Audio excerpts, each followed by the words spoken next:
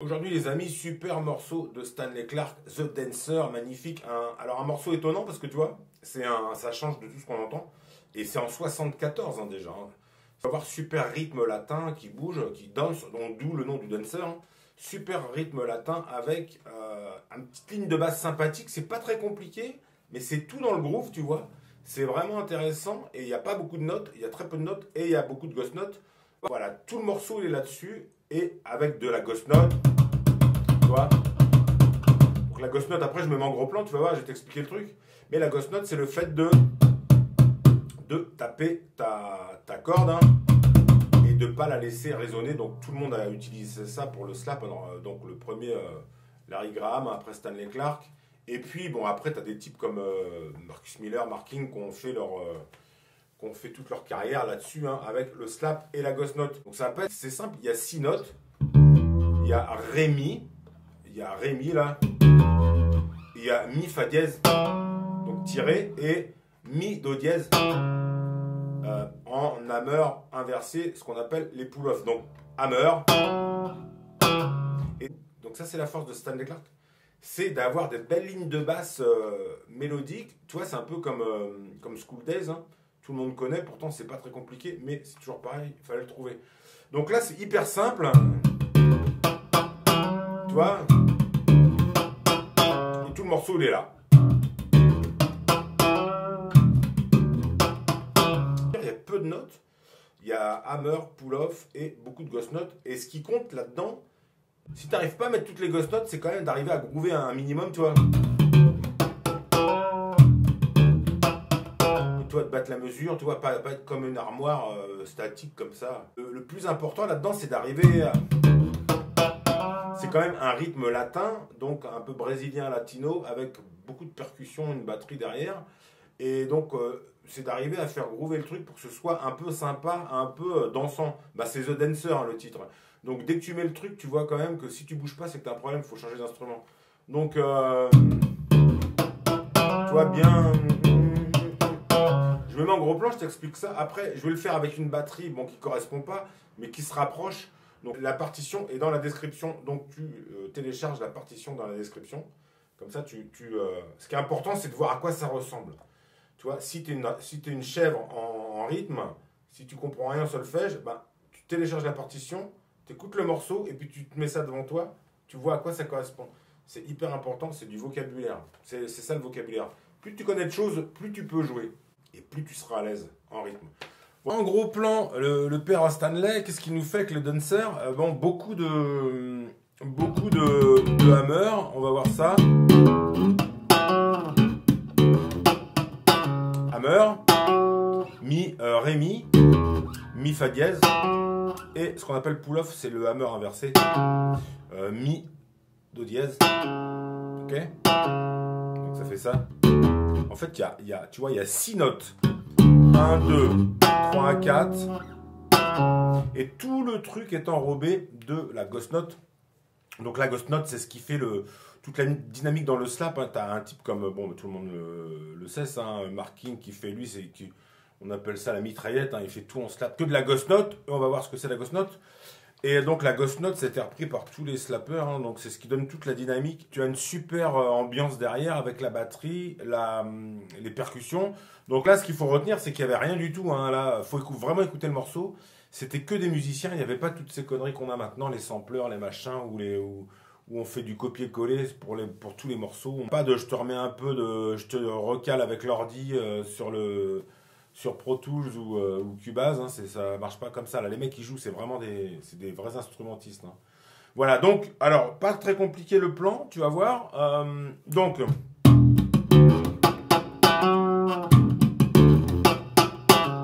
donc, je reste en gros plan comme ça, tu vois bien. Pas très compliqué le plan. Euh, donc, Ghost Note. Alors, premier truc, la Ghost Note. Qu'est-ce que c'est que la Ghost Note hein? C'est le fait de bah, tu vois, je fais ça là, bah, je garde ma main gauche sur la corde pour l'étouffer. Et si je l'enlève, ok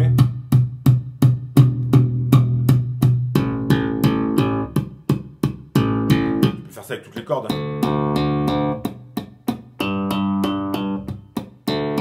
Ok Bon là j'ai les cordes qui sont un peu rincées, mais il faut les avoir un peu. Euh, ils commencent à être un peu, euh, un peu mat, pas très brillantes. Donc je vais quand même les utiliser pour jouer ce, ce plan. Mais il faut quand même, hein, pour avoir un, bon son dans le slap, c'est vraiment les cordes qui sont importantes. Hein. Si tu as des cordes qui ont deux ans, c'est pas la peine, tu vas, tu vas pas du tout sonner. Hein. Donc il faut des cordes assez récentes. ça vient, au tout début du morceau, le, plan il vient de loin. Il fait pas le plan, il fait pas les tirés il fait pas tout de suite ça au début, il fait un espèce de truc de lointain comme ça.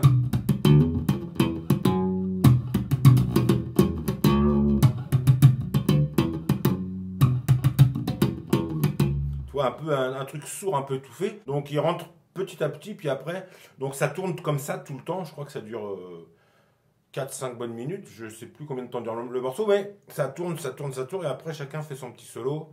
Euh, le clavier, la guitare et, euh, et avec derrière une super rythmique de percussion qui donne vraiment ce côté dansant. si on le fait en hyper ralenti.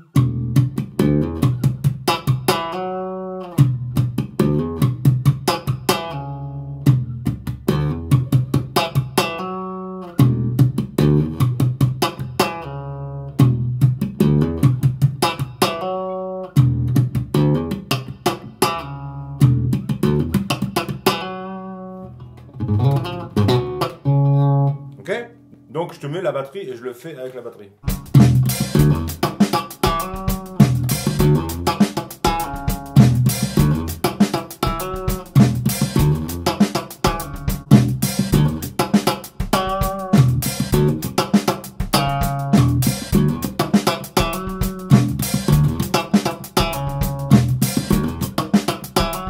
Donc tu as vu super morceau que tu peux faire tourner en boucle, en boucle, en boucle. On a envie de le faire tourner des heures le truc. Si t'arrives pas, tu prends ton temps, tu enlèves un peu de ghost note. Ce qu'il faut, c'est sentir le truc. Tu vois, il faut que ça groove. Si t'es comme une armoire, la poser comme ça, bah ça va pas aller. Hein. Ok? Faut que ça groove, faut que ça tourne à mort. C'est vraiment un truc. Bah, c'est The Dancer, hein, le titre, hein, je le dis à chaque fois. Mais c'est un super titre, super morceau. Donc tu vois, c'est vieux, c'est les années 70, fin 70 il y a bien 50 ans. Donc tu vois, c'était vraiment Stanley Clark. Le... Stanley Clark, c'était le précurseur et c'est maintenant. Bon, maintenant, il tourne euh, beaucoup, il tourne encore. C'est un type qui a jamais arrêté de tourner, il tourne encore, c'est assez incroyable. Et alors, lui, bon, comme il est plus tout jeune, je crois qu'il doit, avoir 70 ans, hein, bah écoute, euh, du coup, il, continue à jouer, mais il, fait tourner les jeunes, donc ça, c'est, tu vois, c'est vraiment super. Ça, c'est vraiment un grand musicien. C'est qu'en fait, il prend tous les jeunes euh, talents des États-Unis et puis moi, je l'avais vu euh, il y a deux ans, et les types, ils avaient, les types, le, batteur, il va avoir même pas 20 ans, et euh, le violoniste, pareil, c'était assez impressionnant. Et donc, euh, bon, alors après, lui, il est plus du tout dans ses concerts, c'est plus du tout ce qu'on voyait avant, hein. c'est plus du tout les années 80 où il était devant.